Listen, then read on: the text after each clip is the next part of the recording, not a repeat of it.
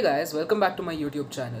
I am Anirudh and today's video is about climate change. Or rather, is it too late to stop climate change? Let's get right into the video. Climate change. First of all, let's discuss what we'll be learning in this video. We will discuss as to what is climate change and what are its causes. Then we will find out the answer for why can't we just stop emitting these greenhouse gases. Then we learn about the factors of climate change with some solutions to it. Climate change. Climate change includes both global warming driven by human-induced emissions of greenhouse gases and the resulting large-scale shift in weather patterns.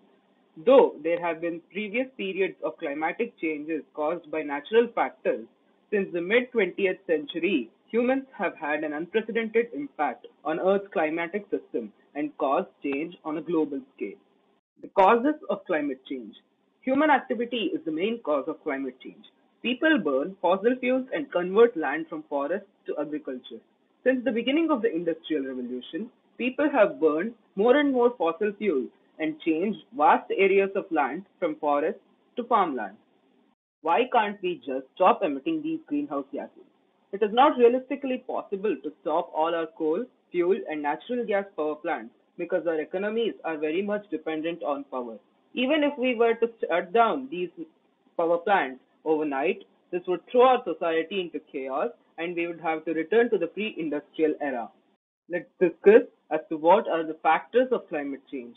There are two main factors of climate change. They are population size and economic growth. Population size. People require basic amenities like food, shelter, clothing, etc. All these services directly or indirectly add to our carbon footprint. For example, let's consider a service like electricity. Electricity is mostly produced by coal and natural gas power plants, which directly add carbon dioxide to the atmosphere. More population means more goods and services, and more goods and services means a higher carbon footprint. This is a simple equation. Economic growth. The richer people get, the more carbon dioxide they produce.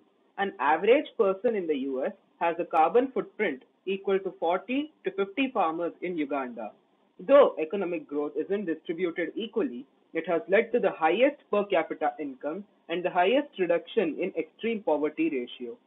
The United Nations estimates that the growing population will level off at 11 billion in 2100. The only way to slow this is to make healthcare, contraception, and education more and more available. Economic growth has become the main objective of every country. More and more people will experience economic growth, that is, getting richer, and higher and higher will be their carbon dioxide emissions because getting richer means getting more services. Now, let's discuss as to what we can do, or rather, what the governments of the world can do to prevent climate change. There are two main factors for reducing climate change or global warming. They are energy intensity or energy efficiency and emissions per energy unit. Let's get to the first factor, that is energy intensity. It describes how efficiently we use energy. If an appliance is more efficient, then we require less energy to do something. For example, a street vendor in India might use coal to make food, but a street vendor in Italy might use an electric heater, which is a lot more energy efficient. Hence, making our society more and more energy efficient is one of the most important ways to reduce the dependency on carbon dioxide emissions. Examples of increasing efficiency are using artificial intelligence, electrifying more and more sectors, sustainable concrete production. The list goes on. Let's discuss some setbacks of this factor.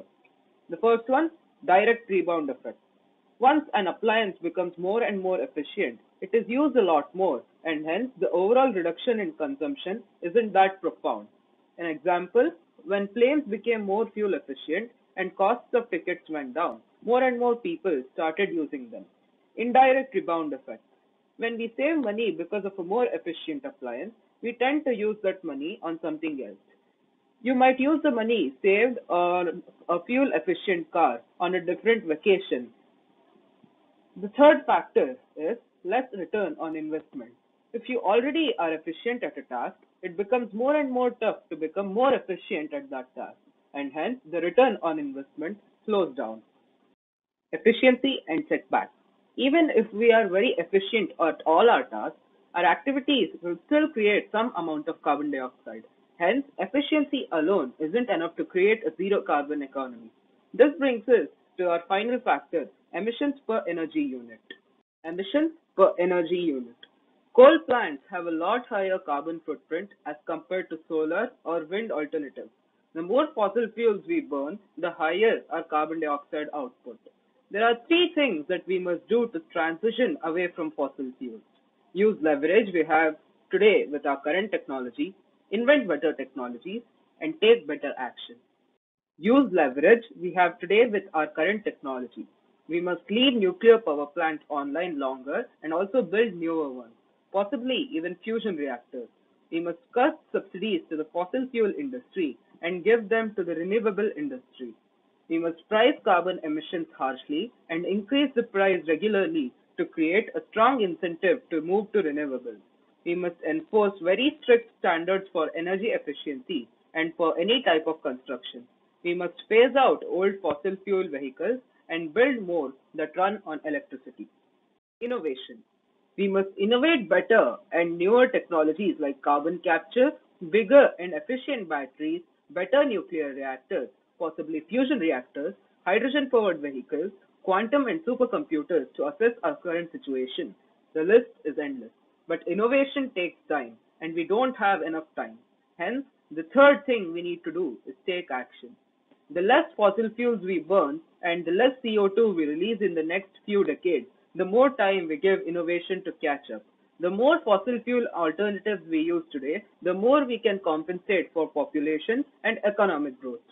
Neither of the options alone can save us from climate change, but innovation and action, along with a decisive move away from fossil fuels, can help us in recovering from it. Solving climate change is and will be complicated. We have to take into account the needs of billions of people, and also today's society is very dependent on fossil fuels. This will not change with the blink of an eye, but it needs to change as soon as possible, and it is even to this day, very much possible. Let's end this video with a quote. There's one issue that will define the contours of this century more dramatically than any other, and that is the urgent threat of a changing climate. Barack Obama. Thank you very much guys for watching this video. Please like this video, co comment down below, and subscribe to my channel for more fascinating content.